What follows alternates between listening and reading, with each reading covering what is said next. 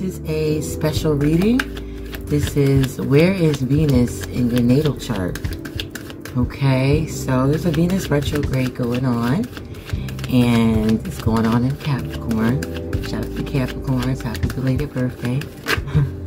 and um, now it's in Aquarius. Happy birthday to all the Aquarius out there. Happy Aquarius season. And so find where Venus is in your natal chart. It could be an air sign, it could be an earth sign, it could be in a fire sign, it could be in a water sign. Who knows? But this is a reading, so if it's if I'm mentioning Aries, I'm mentioning that you have Aries, a Venus in Aries. If I'm mentioning uh, Cancer, that means you have your Venus in Cancer. All right?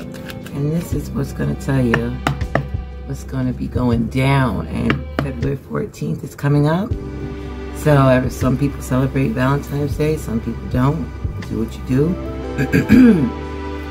but everybody wants to know about love, right?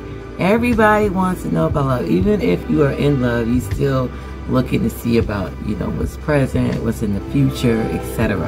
Why you in this type of love. So people want to be loved, especially for the past two years with all this separation, you know, um, being forced upon everybody and all that good stuff. Um, it's keeping people separate, and we're going to be seeing the consequences of that soon, okay? And we're already seeing the consequences of it, but it's going to get worse, okay? If, if everything keeps going the way it's going. So, at this point, people looking for love, want love, want to improve love, um, may say, hey, I don't want to love a person, but love a person, a particular thing, a particular um, project that I want to do, that um, I love, you know, get into something I love, whatever it is, or it just to increase your love, you know, maybe you feel like uh, you're just cold as ice, you know what I mean? So, and and Capricorn to Venus and Capricorn is it can kind of feel like that. It really can, because Cap is a cold place. it's a cold place. So imagine Venus in a cold place. You know, unless she dipped out in her furs and whatnot. You know what I mean? She she minked out and whatnot. And for all the the um, animal people, I'm sorry, but that's just the way it was back in the day. And now that we got new technology, you can go with the fox fur. You know what I'm talking about? So, um, you know, this is that time for everybody. You know, for the next um, you know, 15 days, you know what I mean? So, and then after that hits Valentine's Day, so some realizations is going to be done. Some things are going to be coming to an end, you know what I mean? Some things are going to be set in stone. Some boundaries are going to be drawn. Some structures and organization and relationships is going to be done, you know, with everybody's going to be more looking to that long lasting type stuff, foundational, strong, can't nothing break it, you know? People would want that. And if they don't want that, they are not willing to sacrifice, okay? So, um, and if you are in a relationship or whatever, you're trying to fill out how can I, you know, separate because this is just not right. You know what I mean? This is not practical. you know? So it's it's in the air. So if you're feeling like that, no matter what your Venus is in, whatever zodiac sign your Venus is, it's just the overall energy, period.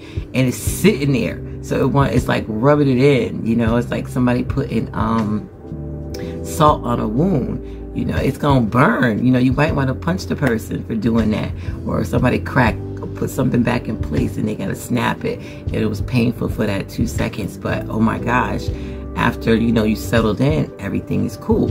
You know, so it's kind of like that right now. So, um, tough love. That's another way to put it. Tough love. So let's get started into everybody's reading. Um, this is going to be Venus and whatever Venus is in your chart, that zodiac sign.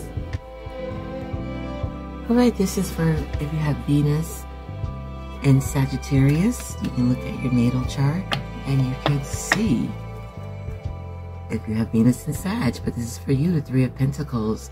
So whatever you are into, whatever your love, your heart, you know, your third chakra, everything, you know, whatever is coming to you is like structured, is organized.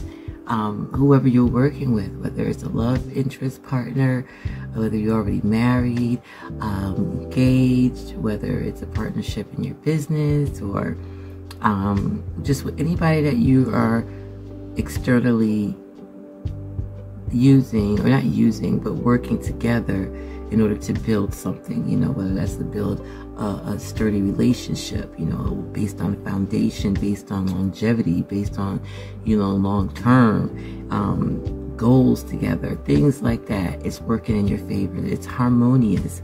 Um, if you have a business partner, you know, it's harmonious. It's working together. It's structured.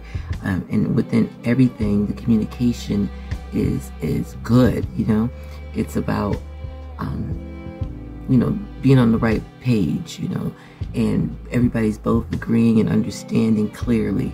So, and it's, it's building a strong, very organized love, very strong organized business, very strong organized project, idea, whatever it is that you are looking to create or manifest, and you're working with others um, to do that it is working. For others who feel like, oh, that's not me, even though Venus and Sag, well, it's time to get the blueprint going, okay?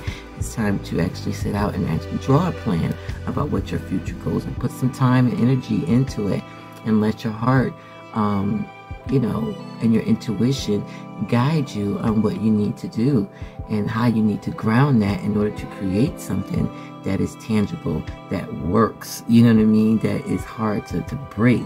It's so strong, it has a strong formation. Um, and something that you appreciate, whatever you love to appreciate. And that could be a person, place, or thing. So have a good day and night, Venus and Sagittarius.